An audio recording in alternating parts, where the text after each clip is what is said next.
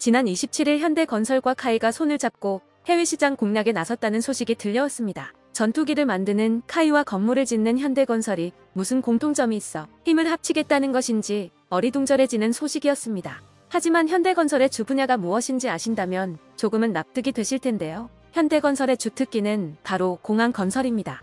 인천국제공항을 포함해 국내외 공항과 비행장, 국내 군사공항 등 수많은 항공 인프라를 건설한 경력을 가지고 있는 현대건설은 카이와 손을 잡고 카이의 전투기를 도입한 국가의 공항 관제시설, 활주로, 경납고 등 항공 인프라를 건설하여 한국산 전투기의 경쟁력을 높이겠다는 놀라운 계획을 발표했습니다. 방위산업과 건설산업 간의 시너지 창출을 통해 새로운 시장을 개척해보겠다고 나선 것이죠. 카이는 현대건설과의 협력을 통해 공항 관제시설과 경납고, 활주로 등 항공 인프라 건설과 항공기 수출을 연계한 패키지를 구성하고 현대건설은 카이를 통해 그간 국내 건설사가 쉽게 접근하지 못했던 해외 군사시설 건설 사업 참여를 노린다는 전략입니다. 또한 양사가 수십 년 동안 전 세계에 깔아둔 네트워크 연계를 통해 한국 방산의 해외 수주 활동에 추진력을 더해줄 것으로 기대받고 있는데요. 현재 카이는 동남아, 남미, 중동, 유럽, 아프리카에 총 200여 대의 군용 항공기를 수출하였고 현대건설 또한 전 세계 62개국에서 국가 수준의 프로젝트를 수행하며 글로벌 건설 역량을 확보해 두었습니다.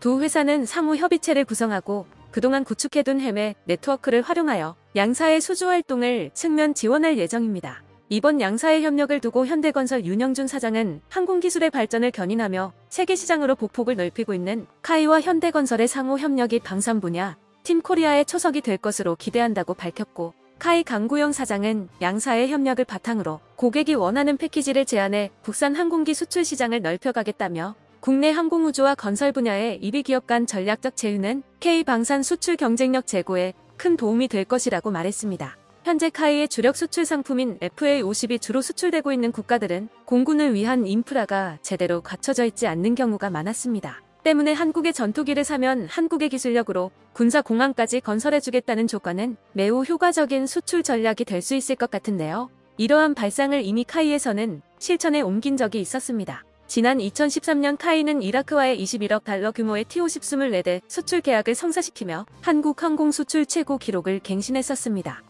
그런데 그로부터 3년이 지난 2016년 카이의 이라크 T-50 수출이 성사될 수 있었던 이면에 숨겨진 극비 계약이 있었다는 사실이 뒤늦게 드러났었습니다. 카이가 이라크 바그다드 남쪽 스웨이라 지역에 공군기지를 건설하는 계약은 T-50 수출 계약과 함께 체결한 것이었는데요. 당시 이슬람 원리주의 집단 IS의 공격으로 공항이 파괴당했었던 이라크는 선진적인 항공 인프라 기술을 갖춘 한국의 T-50을 운용할 수 있는 군사공항까지 건설해주기를 바랬었고 공항 건설 비용 5억 8천5백만 달러까지 포함하여 2조가 아닌 3조 원짜리 계약이 성사된 것이었습니다. 한국이 해외에서 다른 나라의 군사기지를 건설해주는 최초의 사례로 군사기밀을 지키기 위해 이라크와 한국 언론에도 알리지 않고 극비리의 건설이 진행되어 왔었다가 이라크 언론의 실수로 인해 뒤늦게 알려지게 된 것이었죠. 이라크의 사례를 통해 확실히 통하는 전략이라는 걸 확인한 카이에서는 이제 전문 건설사와 손을 잡고 한국 전투기의 경쟁력을 더욱 높이려고 하고 있습니다. 그런데 이처럼 인프라 건설을 통해 영향력을 확대하는 비슷한 전략을 이전부터 해오고 있는 곳이 있으니